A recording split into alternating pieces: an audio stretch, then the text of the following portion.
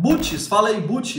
Lancer, Lancer GT da Mitsubishi 2013 ou o Focus 15 Titânio? Ford Focus, né? O Focus Titânio é mais carro, cara, que um Lancer. É mais equipado. O Focus perde só no espaço. O espaço interno do Focus é fraco comparado com o espaço interno de um Lancer. Mas o Ford Focus tem o problema do câmbio. Então, se você for escolher o Focus Titânio, tem que tomar cuidado com o câmbio Power Shift. Mas ele é mais carro que um, que um Lancer, é mais carro. Fala aí, Murilo, Murilo Felipe. Xanão, Polo Sport em 12,13, ganhando 2,500. Dá boa? Ai, Murilão, 2,500 já é meio apertado, né? Pra você andar de Polo. Mas assim dá, cara. Na verdade dá, tá? Não é um carro de manutenção cara. O consumo não é bom, não é um carro econômico, mas não é um carro que vai te pesar muito, não. Dá pra você manter com 2,500. Polozão Sportline. Luiz, Xanão, o que você acha do Prius 2016? Cara, carro super econômico, super bem equipado. Ah, tem a bateria. Cara, bateria, raramente você precisa trocar a bateria de um carro híbrido. Ainda mais de um Prius. Agora, se você tiver que trocar, aí sim é BO. Já era, esquece. É muito caro. Mas é difícil. Não é assim que você comprou um Prius, vai ter que trocar. Vai ter que trocar o, a bateria. Eu encaro um Prius fácil. Consumo muito bom, muito bem equipado. Só é feinho, né? É, não é tão feio assim, mas vai, até que vai. Pessoal, só pedindo aí pra vocês, tá? Dá o like gostoso aí pro Xanão pra gente bater mil likes. Bateu mil likes, o Xanão para de falar de like. Jubesvaldo, fala aí Jubesvaldo. Peguei você por causa do nome, hein? Pajero Full é bom? Bom demais, Jubesvaldo. Pajero Full, muito robusta. É um tanque de guerra, Pajero Full. Qual que é o BO da Pajero Full? Pajero Full 2007 para baixo. Bomba. Bomba de bomba de combustível. 2008 para frente, a bomba de de combustível não estraga. 2008 para frente da Pajero Full é bomba de combustível mecânica e não estraga. 2007 para baixo é bomba eletrônica, estraga. É um carro que vai te entregar bem, viu? Para você que é um carro para roça, sabe? O ruim da Pajero Full, barulho de acabamento. Barulho na Pajero Full é crônico e preço de peça, tá? Tudo na Pajero Full é mais caro, só que ela dificilmente vai estragar se for 2008 para frente. 2008 para frente com bomba mecânica, de, de, de bomba de combustível, tá? Ícaro Xavier, fala aí, Ícaro. Xanão, primeiro carro até 100 mil, usado ou zero. Nossa, cara, até 100 mil reais. Ah, oh, meu consagradozão, Ícaro. Se você pode comprar um carro até 100 mil reais, primeiro carro, eu iria de carro zero. Carro zero, não vai ter problema com nada, só tranquilidade, é só levar na concessionária, garantia, tudo mais, tá? Qual o carro, Xanão, então? Vamos de gado 20, eu iria de HB20. HB20 1.0 é um carro econômico, é um carro bem confortável, tá? HB20 1.0, 0 km. Outro carrinho zero que eu pegaria também, até 100 mil reais, eu pegaria um Polo Turbo, Polozinho Turbo também, acho que acha até 100 mil, acho que acha, né? O Polo, eu pegaria um Polo também, um Polozinho até seminovo, um Polo seminovo 1.0 Turbo, ou um HB20 1.0 Flex 1.0,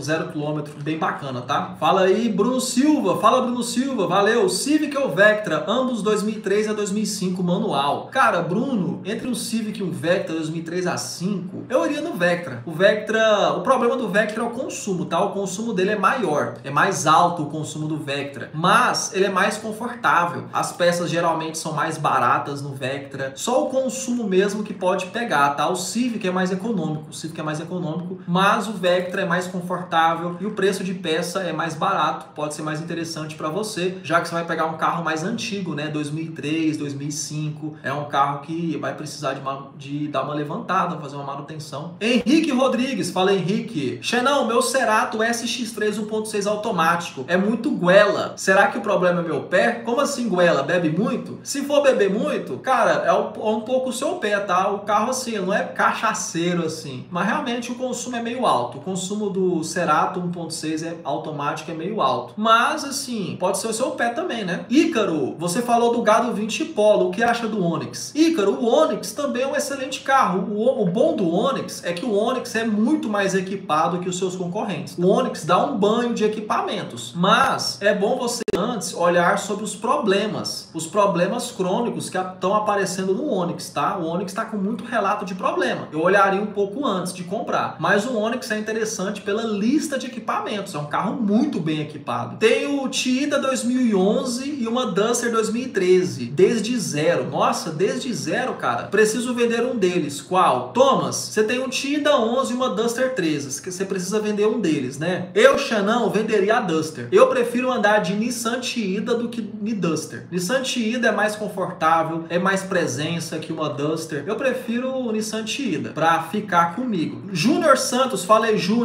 Civic LXR ou XR, ambos 15, renda mensal de 7.5k. Júniorzão, se você pode andar de Civic EXR, compre o EXR. O EXR tem teto solar, tem quatro airbags, tem central multimídia de fábrica. Sempre prefira o mais equipado, tá, Júnior? Sempre prefiro o mais equipado. Ah, mas eu não vou precisar disso. Tá, você não pode precisar, mas é bom ter, é bom ter teto solar, é bom ter quatro airbags, é bom você saber que o seu carro é o mais equipado. Eu tenho o Civic mais equipado da época, o EXR. Vai no EXR. Agora, a sua renda mensal é tranquilíssima, tá? Você vai conseguir curtir o carro e curtir a sua vida. Marcelo, fala aí Marcelo. Xanão, ponto T Jato, original 2014, primeiro dono, 25 anos. Marcelo, eu não sou seu pai, mas é o seguinte, ponto T-Jet para primeiro carro é um carro meio agressivo demais, né? É um foguete esse carro. Para primeiro carro pode ser meio perigoso, porque é um carro muito forte, você é cabaço, você é primeiro carro, pode ser um carro muito forte para você, mas assim, vale a pena? Vale. Vale muito a pena o ponto T-Jet. Não fala para sua mãe que eu disse que é perigoso, tá? Se você, se você falar para sua mãe ou para o seu pai a potência do T-Jet, eles não vão deixar você comprar o T-Jet. Tribunal, fala tribunal, meu consagrado. Carro para oprimir até 45 mil sem ser hatch. Cara, carro para oprimir até 45 mil, Peugeot 408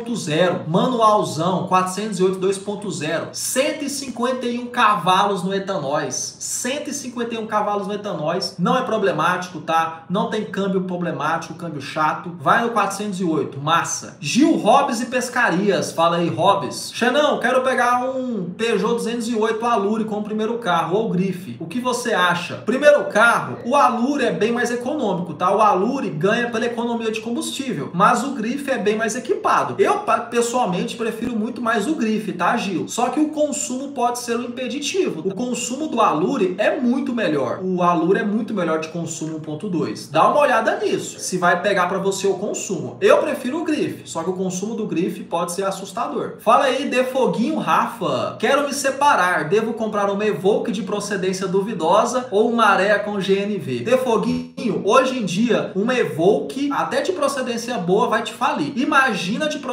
duvidosa. Então, cara, Evoque de procedência duvidosa. Acaba com a vida financeira de qualquer um. Murilo Felipe, falei Murilo. Polo Sport 1.6 com teto ou Tida 1.8 manual com teto. Qual comprar ganhando 2.500? Eu acho o Tida mais carro que o Polo, né? Só que o Tida tem o BO das peças serem mais caras. O Tida tem o BO das peças serem mais caras. O Polo, eu prefiro o Polo, já que você ganha 2.500. O Polo é um carro mais é mais seguro para você comprar ganhando 2.500 o Polo. E tem teto solar? Pô, Polo com teto solar é bem raro de encontrar. Se você pode comprar um Polo com teto solar, eu não abriria mão. Tribunal, acha melhor o 408 que o Fluence? Tribunal, eu acho. O Fluence é mais equipado que o 408. Só que o Fluence, ele não tem o mesmo conforto do 408. O Fluence não tem o mesmo acabamento do 408. O 408 tem uma, ele tem um aspecto geral de carro melhor, um aspecto geral de carro superior, embora tenha menos equipamentos que o Fluence. O Fluence também é um carro que oprime na estrada, ele oprime bastante. O 2.0 dele é bem torcudo, ainda mais se for manual. Mas eu pessoalmente prefiro o 408, tá? Eu sou meio Peugeoteiro e é mais bonito também.